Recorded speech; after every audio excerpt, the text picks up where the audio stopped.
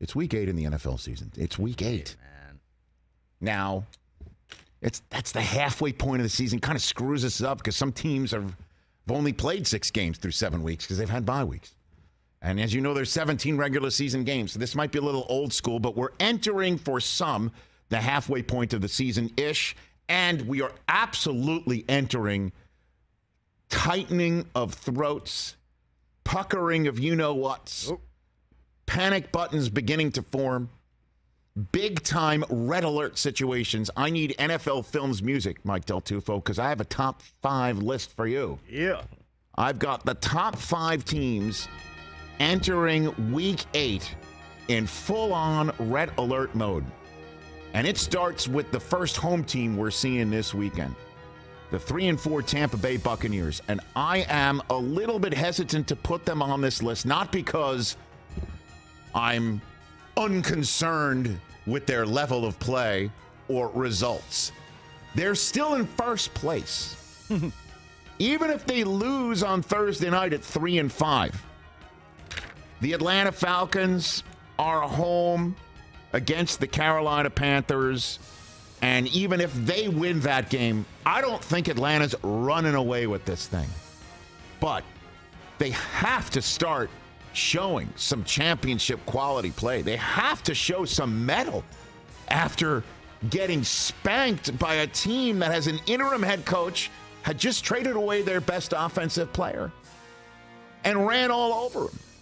And starting neither Baker Mayfield nor Sam Darnold in PJ Walker, and they're they're going to go with the kid.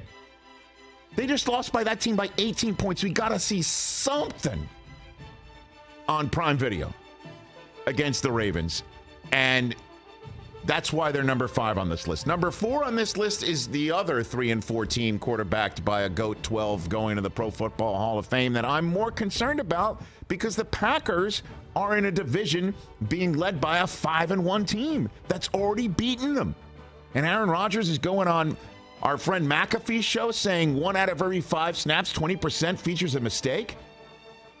And he's also saying that players who are making these mistakes need to either hold themselves better accountable or not be allowed to play, which makes it sound like the coach is not coaching up the players who are walking around feeling like they shouldn't hold themselves accountable.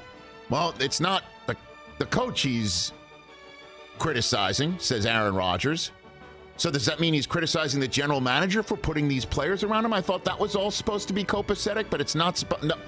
Don't pay attention to the subtext. Just pay attention to the context, which is they're making mistakes and they got to clean it up. And they're three and four going into Buffalo, coming off a bye on Sunday Night Football. Look out. Number three on the list. This team is in full red alert mode. Full red alert mode. And this team thought they could tread enough water until their quarterback came back from an 11 game suspension. But the Browns have won only twice in the first seven weeks of the season. And they've got a home game on a Monday night with Joe Burrow red hot coming to town. And if they fall to two and six, then guess what? We're talking about Watson coming back and needing to show something so they can have confidence and a head of steam going into next season. And we're having that conversation right now, and it's week eight. They got to start winning games, and they got to hold onto turf at home against a division opponent, and not just any division opponent, one in their state, one that won the division last year, and one that won the conference last year. That's full red alert mode here. And if not, does Kareem Hunt get traded the next day? Trade mm. deadline's the day after. What do the Browns do if they fall to two and six and the trade deadline is the next day? Red alert. Number two on this list is my team that I said was going to win the division. Okay, Raiders, you're out of your bye. You're two and four. You've got maybe, and I know this is saying a lot, maybe the best running back in the NFL this year because Josh Jacobs is doing that work for this team. And you just won a game at home against the Houston Texans, and Davante Adams is having his fun leaving the leaving the this the field by making sure that everybody's left the field before he enters the tunnel. Everybody's feeling good there. Well, guess what, Raiders? You're two and four. And if you want to make the playoffs, even as the seventh seed, you got to start winning football games and keep it going. You're at New Orleans, at Jacksonville, home for Indianapolis, at Denver, at Seattle. Four of the next five are out of Vegas. What stays in Vegas is not the Raiders for the next four out of the next five. You've got to win some football games and win them now. And we'll see what happens because if not, you're out looking in and you got your new coach, and who knows what happens there with an owner who might hit a red alert button. And then number one on the list, I don't think there's any argument about this one.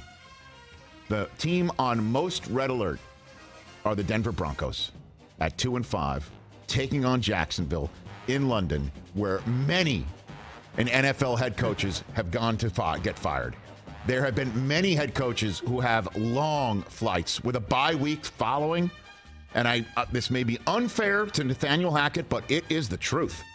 You got a n- new ownership group that nobody knows what they're thinking about. Nobody knows. All we know about the new ownership group is they're immensely rich, and the guy who fronts it thinks the commissioner's name is Goodle. Other than that, we don't know how they're going to handle potentially a team that's at two and six. And if Russ, despite his Wolverine blood and saying that he's ready to go, gets pounded by a very fast, youthful front seven in Jacksonville, which is absolutely the home team of London. I've seen it. I've called their games there. I, Wembley Stadium is a home game for Jacksonville, despite how many Broncos fans might show up. At two and five, they've got to win this game, and we've got to see something out of Russell Wilson, and we've got to see smart play calling and smart time management. We got to see it. Two and six for the first half of Russ's tenure in Denver, going into a bye week and sitting on that. That is red alert for Broncos Nation. Let's ride.